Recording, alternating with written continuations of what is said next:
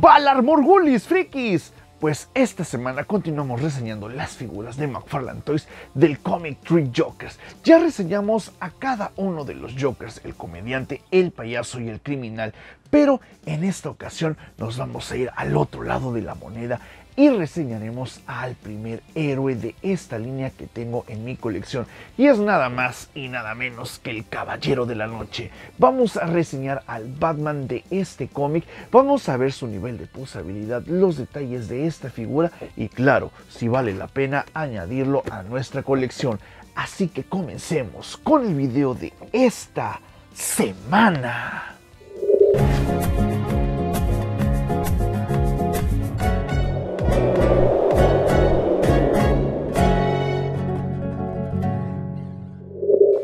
Bien, pues ya tenemos ahora sí fuera del empaque nuestra figura de Batman del Comic Tree Jokers de la línea McFarlane Toys. Bien, algo que de entrada particularmente a mí me llamó muchísimo la atención es el diseño de la figura. Les explico.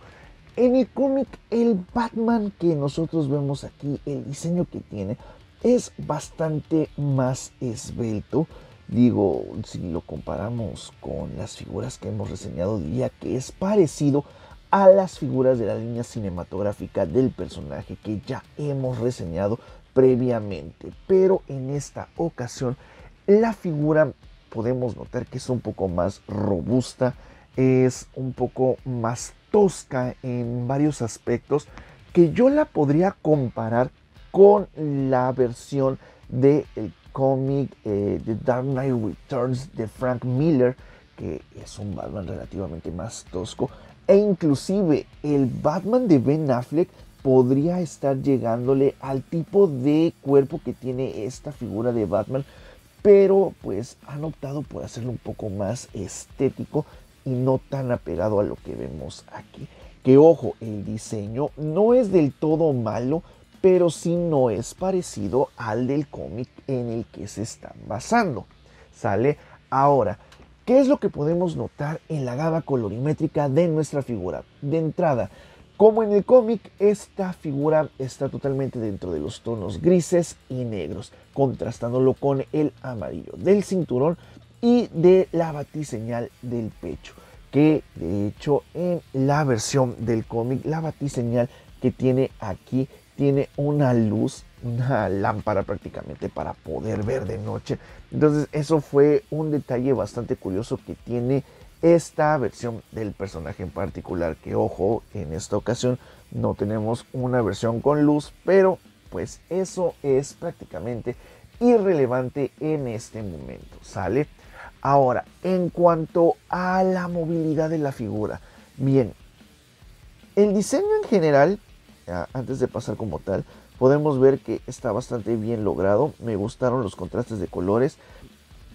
Y en cuanto a la movilidad de la parte de la capucha, podemos notar de entrada que el cuello y la cabeza están unidas en una sola pieza.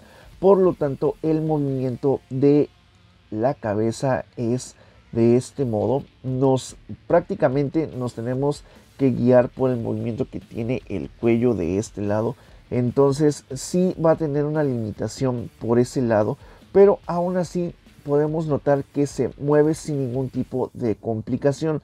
Pero ojo, esto nos impide poderle cambiar la cabeza con alguna otra figura de Batman que nosotros tengamos. La capa es de plástico blando, eso quiere decir que pues vamos a tener problemas si la queremos este pues posar sentada o de algún otro modo, pero me gustó cómo está acomodado el diseño de la capa por este lado. La batiseñal del pecho es otra cosa que particularmente eh, no me desagradó del todo porque emula completamente a la señal clásica que tiene este personaje y sinceramente se ve bastante estética. Me gusta muchísimo este diseño de la batiseñal. Pero aquí en la parte del cuerpo podemos notar que tiene dos secciones divididas lo que viene siendo la parte de la cintura para poderla rotar de esta forma y tiene un crunch central donde nosotros pues prácticamente podemos rotar con bastante cuidado la figura de este modo. Ahora, en cuanto a los brazos se refiere, aquí hay un detalle particular que tiene esta figura, que ojo, no sé si solamente fue mi figura, pero ahorita les voy a explicar. En los brazos podemos ver que tiene su movimiento en la parte de la unión del hombro de esta forma. No tienes join de mariposa, de nueva cuenta es un join sencillo que tiene aquí unas conexiones para poderlo unir completamente a la parte del cuerpo. Entonces por ese lado solamente es esa unión como tal. Y pues esta incluye su respectivo este crunch en la parte de aquí del brazo. Pero aquí viene la parte interesante. El brazo derecho sin problema podemos ver que tiene la unión completamente fija y unida y la podemos rotar sin ningún tipo de problema. Pero la del brazo izquierdo de entrada podemos ver que está levemente más salido porque por alguna extraña razón, no sé si fue problema de mi figura o es un problema en general con esta figura en particular, que la unión como tal no está bien acomodada y aquí de hecho no embona del todo, queda floja. Entonces pues se mueve con muchísima facilidad, pero así como la movemos, el brazo se sale. Entonces por ese lado esta figura pues sí tiene ese ligerísimo detalle que pues sí es un poco molesto para poder posar nuestra figura que vuelvo a repetir. No sé si es un problema de mi figura o esta versión del Batman viene con este problema en particular. Los coleccionistas y que tengan esta figura, me gustaría que me dijeran sus opiniones al respecto de eso. Y bueno, pues este incluye también su respectivo este, join aquí en la parte de los este, codos para poder poner la figura de esta forma.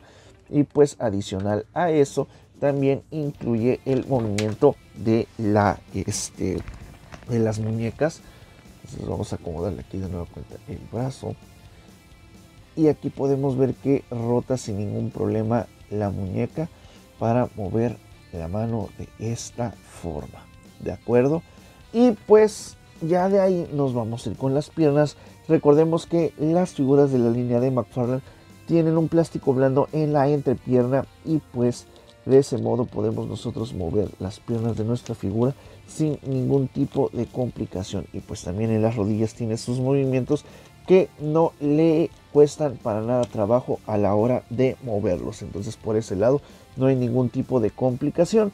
Y pues en las botas podemos ver que el diseño está unido aquí a la parte de la pierna. Entonces como tal la bota no la podemos girar, pero en la parte del pie sí no hay ningún tipo de problema a la hora de moverlo para poder rotar la figura. Entonces por ese lado los pies los podemos mover sin problema alguno.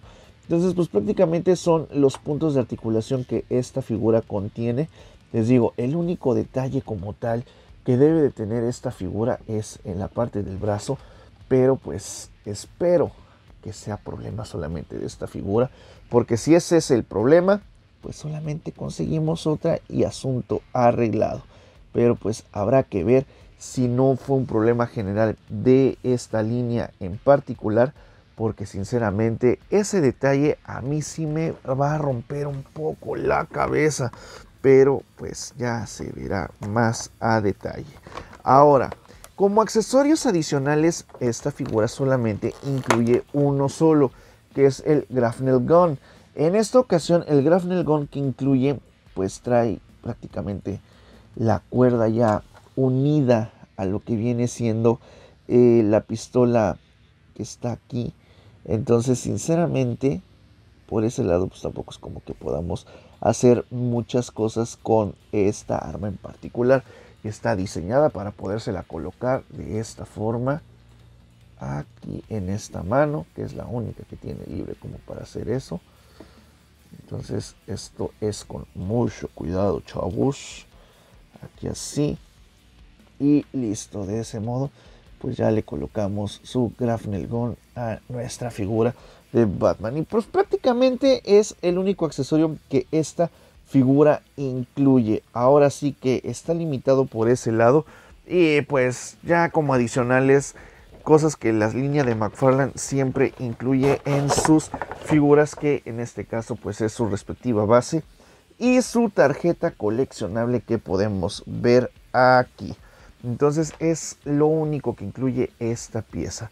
Debo decir que eh, el Batman como tal ah, no fue de mis diseños favoritos. No voy a decir que me desagradó, pero tampoco es mi figura favorita de Batman. Debo decir que de las figuras de Batman que tengo hasta ahorita, la que más me ha gustado es el Batman de Ben Affleck de la Zack Snyder Justice League.